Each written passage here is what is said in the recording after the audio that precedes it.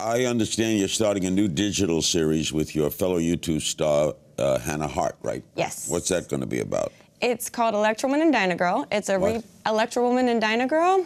It's a reboot of the 70s series that was created by Sid and Marty Krofft, and it's with Legendary. And I knew them well, but they were puppets. yeah, they were puppets. I mean, Big puppets. Big puppets, and technically Hannah and I are big puppets, so we fit into this. you don't series. have puppets with you, right? Not actual puppets, uh, but we play superheroes. We play Electra Woman and Dyna Girl, and it's a story of those two friends moving from Ohio to Los Angeles, where all the big wig superheroes are, and trying to make a name for themselves. So you're feminist superheroes, right? In a way, yeah.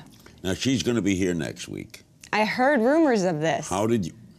It's out already. Oh, it's our. Oh, I guess. okay. How did you pair up with her? How did that come about? Hannah met each other a few years ago just through the the internet. We I had seen videos that she was making and we connected online and met in person and got along really well and then started just sort of developing creative ideas together and making content and this idea was born from another idea that she had been working on and it had gone through some iterations and landed in Legendary's lap, and she asked me if I wanted to be a part of it. And I thought it was a great story about female friendship at the core, and uh, and now here we are. Does she live out here like you do? She does, Yeah. yes. All right, Hannah Hart's going to be here next week. Give me Mm-hmm. a tip. Anything I should know about her, or should I ask her? Hannah Hart, you just have to treat her like she's a 60-year-old man.